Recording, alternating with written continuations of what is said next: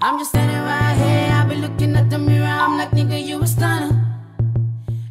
What's up YouTube, it's your boy King Denny X. We're back with another YouTube tutorial. It's been a while ever since we've done something like this, but we are back, especially for this channel. I've been focusing my energy on another new channel, which is a reaction music video channel. But now I decided, no, let me go back to my people and just do some teaching. Uh, today I'm gonna do a Manny Ortiz inspired retouch i'm only gonna use lightroom. I'm not gonna focus on the photoshop part. I already done tutorials that focus on the photoshop part but i'm just gonna edit this picture uh, to something like this. Because this is Daniel Ortiz Manny Ortiz wife. So i like how Manny Ortiz edit his pictures. This is amazing. I, have i've spent a lot of time uh, watching Manny Ortiz since day one I've been inspired by him, how he takes pictures and how he retouches pictures. I've had a challenge with those kind of things, especially when it comes to retouching. Yesterday, I took a picture for my client. This is the picture, sort of like a product, beauty, hair, advert kind of picture. So the first thing, usually when you do, is always capture the picture proper. Don't depend on the camera. If you suck uh, especially on your settings you'll also have a problem. When it comes to editing you'll do a lot of editing. So make sure that your exposure is properly everything is proper exposed uh, if you don't know how to do that and if you're still new to photography there are more tutorials which are focused on that. So i've been helping a lot of photographers uh, getting them tutorials on which tutorials to follow and which ones are important where to start and where what is important and what to focus on. So you can hit me up send me a text uh, you can dm me on instagram I'll, I'll, I'll add you on my whatsapp so we can communicate take that opportunity that i'm giving to you so the first thing you do uh, especially this thing comes with how you actually take the picture you know as you can see this is how as it was shot I usually do my own white balance on my camera, especially I always have a custom white balance. Uh, it depends what kind of a day you're in. Some some people use daylight. Yes, it was daylight, but for me it wasn't gonna work. It was a bit cloudy. It was it was one of those confusing weathers. So let's just go back to S shot because I already done my own white balance using a gray card. So the first thing I always do, I always bring up the shadows and the blacks okay? So let's start with the blacks. I'm just gonna bring my blacks up to around 50 I don't know it depends. Let's just look at the image. 70 is too much. Let's bring them down a bit. Okay let's just say 50 okay 51 and then I go to the shadows and then I bring up the shadows to around 50 also. But this will depend on the picture. You always watch what's happening here. And it also depends on how you capture the picture you know. So i'm just gonna bring it up uh, 50 50 51 also. Uh, it will differ from how you captured your picture because i'm following my steps here and what i'm seeing on the screen and make sure your monitor is calibrated you know so the next thing i do after this i bring down the whites and the highlights you know. And the best way to do this without being distracted use your histogram. Let me just change the color to black and white because i'm dealing with the exposure now. So i'm just gonna bring down the white okay okay the whites i can see i'm still struggling. I'm trying to bring this one around here to the highlights and also bring the highlights a bit down. Let's see what's gonna happen. As you can see now we're on the right right spot here. Because this is the skin. This is the skin the skin skin tone or uh, this is the skin exposure. It was supposed it's supposed to be around here to show that it's properly exposed. So now it's just in the middle of the highlights and the midtones so I'm, I'm just gonna go to the exposure. I'm just gonna leave the exposure here and just bring up the shadows here. Also the shadows here i'm just gonna bring down the contrast a bit. Uh, okay. Now my midtones now my skin tones are on the midtones of the histogram on top of here. So i can say i'm happy with what's happening here. Let's just bring back as you can see now what's happening this is before and this is after. Okay from here now we are happy with the image. Let's just bring up the the haze up here. Uh, not too much just a bit. You know you don't you don't want to play with the haze too much because it's gonna over saturate your image. Let's just bring it up to okay i'm just gonna bring it up to 13 and then from here i think i should go back to exposure you know and just take it out a bit. Because i'm i'm gonna bring down the, the, the exposure using the, the the curves down here. Now we're gonna move to the curves the first thing i always do is find the right point. If you don't know where to bring down and always make sure your monitor is calibrated. Mine is calibrated. I always make uh, dots here here and here. So the first thing is i always watch what's happening on the screen. Okay i think this is a better way just gonna bring it around here. And then i'm gonna come here. These are the midtones. Just bring the midtones a bit up. And also bring the highlights a bit up. Something like this. But now i have to go back to the highlights and bring down the highlights to zero something like this. As you can see my image is oversaturated. So now i have to bring up bring down the saturation a bit minus 10 and also bring up the uh, vibrance. I always use the vibrance not the saturation. Let me just put it to minus 20 just bring up the vibrance around here. Okay. I'm almost there i'm almost there. From here to here always should draw. Always should draw. So from here i can say okay i'm done with few things here but there's a lot that has to be done. I, I need to bring up the the contrast in order to make sure that the that the, the, the hair is a bit it's more dark here. Just gonna bring it down up like this to minus 14 okay. Okay i'm i'm happy with the image by far. Let's just go down. Now this is where i play around with the skin tones and all those things you know.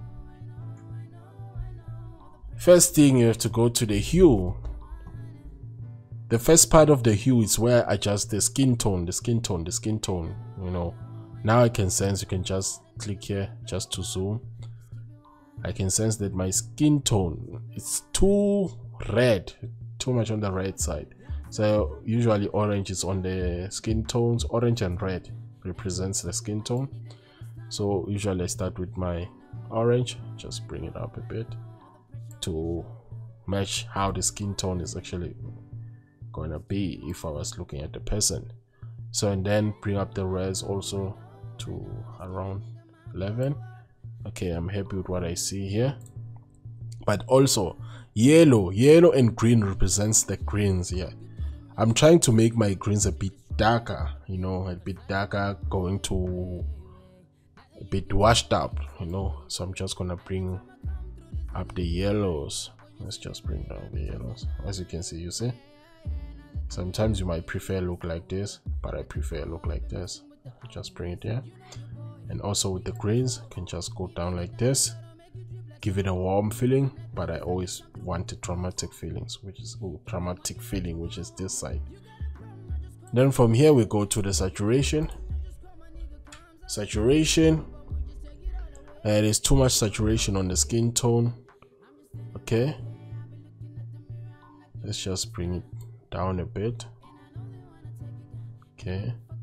I think I like it here and then we go to yellow yellow is the the greens here. Just gonna bring down the greens. And let's let's go to minus 70 okay I like I like where it's going. Let's also play around with the greens. Let's bring them down to minus 50 minus 50 minus 50 minus 56 okay i like 56 and then the aqua. I'm just gonna bring down the aqua to nothing. As you can see you see what just happened okay from here to here. Let's let's just give it around 30 okay 30 and then the blues. These are the blues. Because the blues are affecting also here. The, the especially if the, the, the model is wearing something white the blues will also appear on the, the that fabric. So i'm just gonna bring the blues down down down down but not too much just something like this. Then from here as you can see and then there there's purple. I'm just gonna bring down the people a bit a bit. Uh, okay minus 10 and then I'm gonna bring up the the magenta to plus 10 plus 10 okay plus 11 is okay. As you can see before and then after. From here we're just gonna go to the luminance luminance. Luminance! Then from the luminance i'm just gonna bring down only the greens. Okay let's just bring down the green a bit. No not too much. Don't overdo this. Just a bit a bit a bit. Something like this. And then i think that's all. Because can't just bring up the aqua here. I think this is final. But also the skin tone. Let me bring it down to minus three something like this. Okay from here i like what i'm seeing. And then we jump go to detail. From detail i always increase the luminance of the noise reduction. Let's just take it up to 20 i like around here. Especially if you don't want to do too much retouching on the skin. This is before then this is after as you can see the, the skin becomes a bit softer. Then from here we jump and we go to calibration. And my favorite point favorite spot. Calibration is a bit difficult here when it comes to calibration because this is where you actually calibrate your image. Actually this is where i should have started playing around with because now if i adjust here i have to go back up and start adjusting the other things especially on the colors and all those things. But i already know what to do. I've experienced a bit. The first place i start i always start on the blue primary. Blue primary.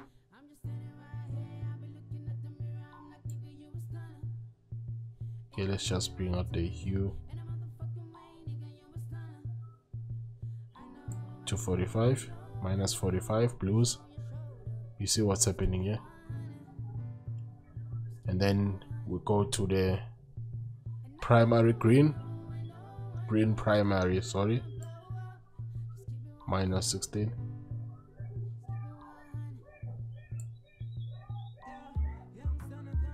and then the saturation minus 12 and then we go to the primary red red primary. Let's just add 12 plus 12 and then we go to the saturation of the red and just minus 13 this is nice. Before and after. Before and after.